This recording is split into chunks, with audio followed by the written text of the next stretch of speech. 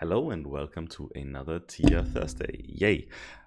Today we're quickly going to look at something called a reference projects. We have an old project, we have a new project, we have made some advancements, uh, advancements, we have made some changes, um, but our program doesn't work anymore. Luckily, we have an old version of the program or a different version or a safety save that we made last week or so.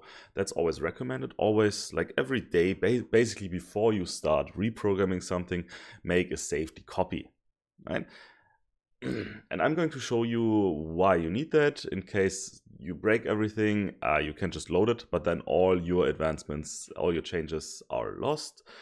What we will do is we use that reference project that's how it's called um, to actually see what the changes are and apply changes if needed. So let's see. I have got my project open and you can see here in my list I have some functions, not too complex, but I've got some functions. I reprogrammed some stuff, but now it doesn't work anymore. I know that the old status, the one, the safety copy from yesterday, uh, worked. So I can open that safety copy don't open it as a new project. We have here on top, we have view, and there's something called reference projects. From the standard side, it is turned off. So, so from the um, presettings, and we can turn it back on reference project. And then you see it shows here on the left side. We can also turn it off and then it's gone again. Right? Turn it on uh, because we want it on in this reference project, we just can to do two things. Open a reference project or close the reference project. I just want to open one. And then we see I've got, this is the one I've got currently open. And this is the uh, project from yesterday. I made a safety copy. And I can just open it, right? Selecting the TIA portal file. I open it. And now the reference project, you see it here in the left list, is open. That includes variables, hardwares, controllers, networks. This is the whole project, right? So we're really looking at the whole project that is open now. So I basically have two projects. On top, I have my current project, and on the bottom, I have my old project, my safety copy. now we actually want to compare those two. This is the function, this is the name of the function. It's a compare function. We can now whatever I want to compare. For example, the controller here, I can right click and there is a compare. And I can do it with the with the PLC. I can also do it um, with all the single things inside the PLC. Example, the program blocks, I can also right click and there should be compare. Okay, no, we have to, oh, we can quick compare, yeah. We can quick compare, but we can't compare, compare the whole thing. Let's compare the whole thing right click on my controller on my PLC here and there we have compare. And we have offline online. That would be in the current project and online on the PLC so basically when you click on those glasses that's what you always do. Um, well, of course there's a little bit more here. And we can do offline offline which is which is in the current project and in the reference project. Offline offline. That's what I want to do. Now I have on the left side my current project and on the right side, there is nothing selected yet, uh, but I want to compare my current project with something so I can take the uh, PLC. So I, I right clicked on the PLC here, right? And I want to compare it with the controller with the PLC from the other project, from my old one. So I can just drag and drop the controller here from the old project, from the reference one, in here, right? Up here, there is insert here to add new object or replace the one. If there's already one, we can replace it. So now I put it there and you can see on the left side is my existing, my new project. On the right side, there's the older one. Right? and I, if I scroll, you see I scroll on both sides as they are pretty similar. So there's some information here that we can see. Green bubble. So I have my main function on both sides. I have cyclic interrupts on bo both sides. So you see green bubble indicates that these objects are identical. That's the first thing we can have. Then there's this um, gray and blue bubble. Half is gray on the right side here because it's a reference project. The other half is blue because it's our current project. And you see gray and blue, they're both filled, meaning they both exist, but they are both different. We can see that objects are different. Then we have one more down here, right, with this. On the right side, we see cyclic interrupt PID. On the left side, we see does not exist. right? So this block does not exist in my current project, but it exists on the um, old project, and this is marked with a blue is empty, meaning right now in our project it's not there. A gray is filled out, meaning it is there in the other project. Right? yeah. There could also be blue is filled out, that means it exists in our new project, and gray is empty, meaning it didn't exist in the older one. So what we want to do is now actually compare this function, this FC, the manual control, it's different in both cases. Um, some more things actually before we go into the detail here. On top, on the top, we have some filter options, right? We have some filter options. This, the first button here means show identical and different objects, which just lists you everything. And then we have show only objects with differences. If I click on this, you see all objects are deactivated and we only have the ones with the difference, which makes more sense, right? So now we only have those two that are actually different. Let's leave them all open. The next is we could have some filters, right? We could have standard blocks and we could have safety and we could have some other filters, not really needed. Uh, hierarchical view and flat overview. Flat means all objects are on the same level. Hi hierarchical view, of course, is uh, with the hierarchy. First it's the PLC, then it's object, uh, then it's program blocks, and so on. So a folder system. This one we can't do, right? The start detailed uh, comparison. I would have to select a function that I want to go into the detailed view. You see now I can click on it. If I select the PLC, for example, I can't. Then we have refresh, that makes sense. We have execute actions, I'll get to that in a second. And we have further criteria. Hey, I, own, I don't want to display safety differences, stuff like this, right? Or I, I don't want to see properties that are different, so I deselect properties. Or language, I don't care about language, just programming, language, stuff like this, right? so, next thing, we have here manual control, right? I can go into it. Either I can double click on the function or I can go into the detailed comparison.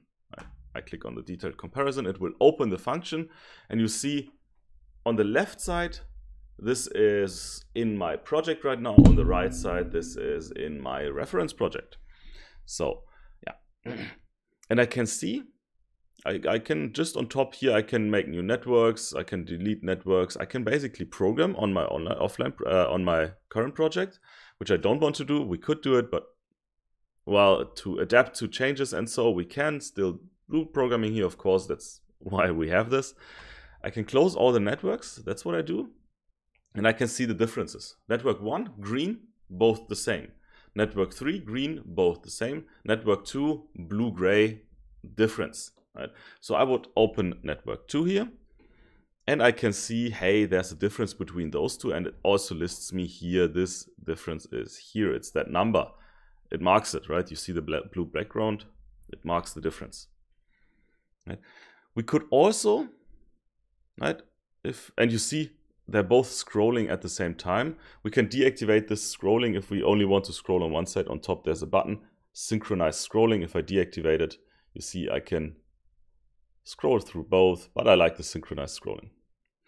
we have also some buttons here, position the first difference, position to the previous, position to the next, and to the to the last. Of course, I only have one difference, so that doesn't make any difference here. But if you would have like 20 differences, you could use those four buttons to jump between those.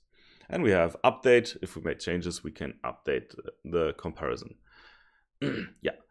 So now I see yesterday it was zero, now today it is seven. This is a change I made, but that's not the thing that breaks my program. Right? That was just an adjustment. So that's fine, I'll leave it. I can close this here and I still have this detailed, this comparison view. The next thing I see, the function does not exist here.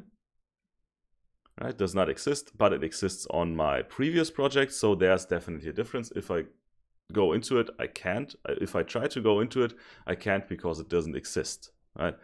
So what we can do now is, oh, I realize this is the mistake. I accidentally deleted something, right? I deleted it, I erased it from my current project. There's this button here. There is this stop button and I can perform an action. I can make a copy.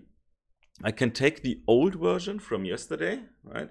And copy it to the new version on the left side. That's what I do with selecting here the arrow, right?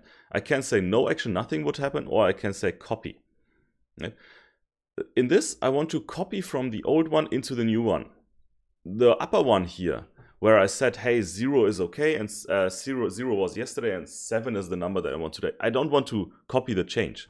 I could also now select here, of course, override, which would override my current state, but I don't want that. I don't want to perform an action. So, so you can select every single block that has a difference. You can select what you want to do. Uh, you can't, of course, copy into your old project, right? You can't copy into your reference project because you don't want to change that. So here we can copy and you see on top here, this button, this execute action button, hard to see. But if I select here just this pause button, come on, the no action button, it is deactivated, so I cannot execute the action. And if I click on copy, I can actually execute the action. So if I click on this, it's performing the action and you see it actually took, uh, which one was it? I don't know exactly which one it was. I could check it on here, I think. No, I can't. Uh, yeah, it took one of those. Uh, it took the function, the FB. Oh, it's, yeah. It took the OB, whichever it was, and actually copied it to my current project. So now I repaired my project using the old one. I can save and I now know my project will work. The last thing on this, here on top we also have this button hardware. I can also uh, check on different hardware. Are there any hardware differences? Did I do anything on the hardware? This was just the software, the blocks, variables, and so on. I can also go here into the hardware. Right. and I see, hey, those two controllers, they are the same. They have the same setup, so I won't change anything. Yeah. Just so you saw it, we can also select the, uh, compare the hardware. So now that I actually fixed everything using this reference project, I know, hey, I don't need you anymore and I can close the reference project, which will close the reference project here, of course, on the right side. I can close my comparison view and I'm done. So we can compare old projects to new ones. Always make sure you have safety copies, basically every day. Whenever you want to make a change, make a safety copy. It's a TIA portal thing. It's just a couple of megabytes. You can have a thousand safety copies. The best would be, of course, always in the file name, put your date and time. So now I would say, hey, this is the current version. So I want this CSC and today is the um, uh, 1 12 2019. So I've got the date saved. Actually, you would do it the other way around, right? So you can actually uh, sort by it. It's the 1st of December 2019. So now I save this and I have this as a reference project now. I could always use that as a reference. Good. I hope this helps a little bit. Um, if you like this, uh, leave a like. Don't forget to subscribe. And I will see you next week around or in the next video. I'll see you. Have a nice day. Bye.